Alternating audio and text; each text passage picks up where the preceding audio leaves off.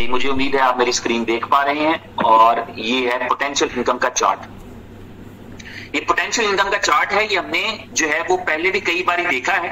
आपको मैं थोड़ा सा रियलाइज़ करवाना है कि किस तरीके से अभी तक ग्रोथ हुई है, कहाँ तक हम अभी पहुँचे तो ये पोटेंशियल इनकम का चार्ट है। इसमें देखिएगा ये पहला आईटीओ जो था, इस कंपनी ने किया, वो था 0.0125 की प्राइस पे।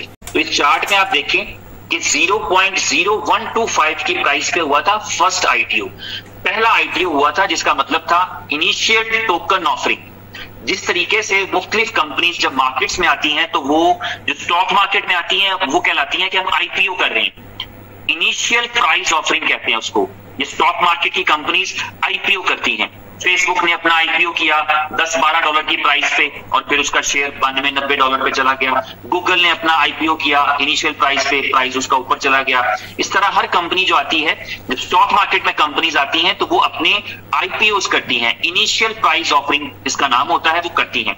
क्रिप्टो करेंसी की दुनिया के अंदर जो है, वो आप कर रहे हैं आईटीओ इनिशियल टोकन ऑफरिंग इसका मतलब ये, इसका कॉन्सेप्ट ये होता है कि आज जिस प्राइस पर आप बाय कर रहे हैं, ये इनिशियल प्राइस है। और प्राइस में एप्रिसिएशन होगा प्राइस में पोटेंशियल होगा प्राइस बढ़ेगी अगर आप फ्यूचर तक इसको लेकर चलेंगे। तो पहला आईटीओ था 0.0125 की प्राइस पे और ये हुआ था चंद महीने पहले। दूसरा आईटीओ जो है सेकंड आईटीओ वो आपका थ्री सेंट की जी, बिल्कुल। सेकंड आईटीओ आपका होना है थ्री सेंट की प्राइस पे। और ये सेकंड आईटीओ जो है, ये है फ़र्स्ट मई को या सेकंड मई को। ये अपने पास नोट कर लें आप लोग। फ़र्स्ट मई या सेकंड मई को आपका दूसरा आईटीओ है, जिसमें 0.03 की प्राइस के ऊपर जो है, वो आपको टोकन्स मिलेंगे। ठीक है? और उसके बाद आपका तीसरा आईटीओ जो है ना, वो है जुलाई के अंदर। जुलाई की फ़र्स्ट या सेकंड को। लेकिन ये तीसरे आईटीओ की डेट को मैं उतना एंडोर्स नहीं कर रहा। तो जो मई में सेकंड आईटीओ है, वो तीन सेंट की प्राइस पे होना है। आज की प्राइस क्या है? आज की प्राइस भी तीन सेंट है।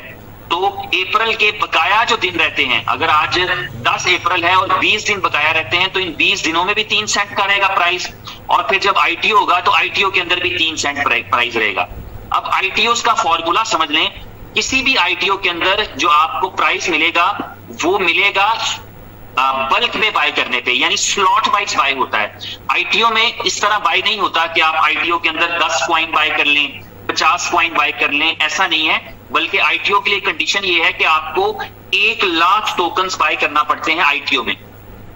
तो अगर आप बीस हज़ार टोकन बाय करना चाहते हैं तो आपको आईटीओ का वेट नहीं करना चाहिए। आपको उससे पहले ले लेने चाहिए, अगर कहीं से मिलते हैं तो। अगर आप दस हज़ार टोकन लेना चाहते हैं तो आईटीओ से पहले खरीदें। अगर आप 500 टोकन खरीदना चाहते हैं आईटीओ से पहले खरीदें। आप निन्यानवे हज़ार खरीदना चाहते हैं तब भी आईटीओ से पहले खरीदें क्योंकि आईटीओ के अंदर आपको 0.03 नहीं मिलेगा आ, आ, एक लाख टोकन से कम। और जब आईटीओ जैसे ही कंप्लीट होगा ये आईटीओ एक दिन में भी ये आईटीओ बेसिकली कोई टाइम फ्रेम नहीं है। आईटीओ के लिए टोकन्स की वैल्यू क्वांटिटी डिसाइडेड है। यानी तकरीबन 1.5 बिलियन यानी डेढ़ अरब टोकन का आईटीओ है। जिस तरह पहला आईटीओ जल्दी से खत्म हो गया था पॉइंट वन टू फाइव की प्राइस पे था, उसमें ज़्यादा टोकन थे। पहले आईटीओ में 2.5 बिलियन टोकन थे। इस आईटीओ में सिर्फ़ 1.5 बिलियन टोकन है। शायद 1.5 भी नहीं है 1.25 है। ठीक है तो ये जो टोकन हैं, उससे तकरीबन आधे टोकन अवेलेबल है। और वो टोकन जो थे, वो छब्बीस हज़ार लोगों ने पार्टिसिपेट किया और ले गए। और जबकि कम्युनिटी टोटल उस वक्त साढ़े चार लाख लोगों की थी। और आज जो कम्युनिटी है, वो एक करोड़ से ज़्यादा लोगों की है। मजीद बढ़ती चली जा रही है। और आज टोकन लेने के ख्वाहिशमंद लोगों की तादाद पहले से कहीं ज़्यादा है। यानी उस वक्त दो लाख लोग अगर टोकन खरीदना चाह रहे थे और बीस हज़ार को मिला तो आज एक करोड़ लोग खरीदना चाह रहे हैं। तो आप समझिए कि टोकन दस हज़ार लोगों के लिए है। क्योंकि टोकन पहले से कम है। तो इसलिए आईटीओ के अंदर भी पूरा एक्टिव तरीके से आपने उसकी प्लानिंग करनी है प्रिपरेशन करनी है। आ, अगर आप आईटीओ में बाय करना चाहते हैं जितने भी बाय करना चाहते हैं पॉलिसी कंपनी की जो मेरा ख्याल है आएगी वो यही है कि एक अकाउंट एक ही स्लॉट बाय कर सकता है यानी एक लाख टोकन ही बाय कर सकता है एक अकाउंट तो आपको करना यह है कि जो आईटीओ में पार्टिसिपेशन करनी है उसके लिए यूएसडीटी या बीयूएसडी मुझे एग्जैक्टली नहीं पता। अपने पास अरेंज करके रखें, अपने पर्सनल वॉलेट में रखें। किसी को नहीं भेजने, अपने पास रखने हैं, अपने पास रखें। यूएसडीटी रखा होगा तो मौके पे कन्वर्ट कर लीजिएगा। बीयूएसडी होगा तो बीयूएसडी डायरेक्टली यूज़ कर लीजिएगा।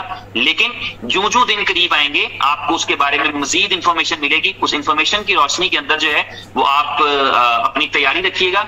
लेकिन एक लाख से कम टोकन आप उसमें नहीं बाय कर सकेंगे सेकंड आईपीओ में, तीन सेंट की प्राइस पे।